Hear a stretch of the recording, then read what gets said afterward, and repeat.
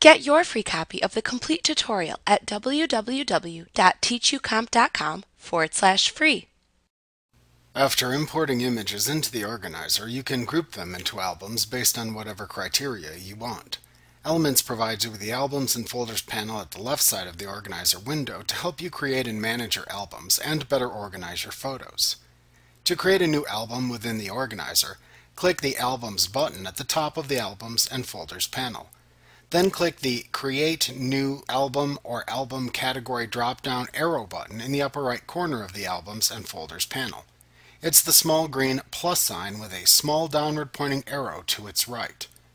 Then choose the New Album command from the drop-down menu that appears to display a new album panel at the right side of the window. You can also directly click the actual plus sign part of that same button to open this same panel. In the New Album panel, type a name for your new album into the Album Name field. To categorize the album under a category you have created, select an existing category from the category dropdown. Creating categories will be discussed in an upcoming lesson in this chapter. To add media to the album, click and drag the media to add to the album from the Organizer window into the Media bin shown in the Add New Album panel. After adding media to the new album, you can click a media item you have added to select it, and then click and drag it to a new location in the media bin to change the order of images shown within the album. When finished, click the OK button at the bottom of the New Album panel.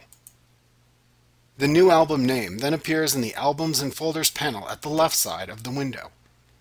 To add more images to an existing album, Click and drag the images onto the album's name shown in the Albums and Folders panel, and then release them when the desired album name appears highlighted within the panel.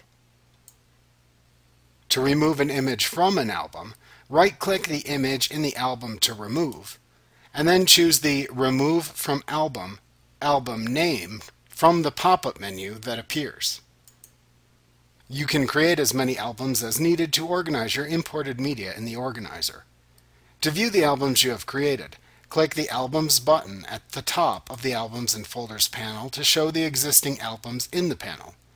Your albums will all be grouped under the expandable and collapsible My Albums category. You can click the arrow to the left of an album category to expand or collapse its contents.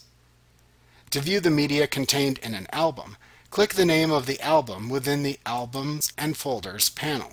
To then display all the images in the organizer again, click the All Media button in the upper left corner of the organizer's media window when viewing the content of an album. To delete an album, right-click the album to delete in the Albums and Folders panel and select the Delete command from the pop-up menu that appears. Elements prompts you to make sure you want to delete it within a Confirm Album Deletion message box that appears. Click the OK button in this message box to finish deleting the selected album. Like what you see? Pick up your free copy of the complete tutorial at www.teachucomp.com forward slash free.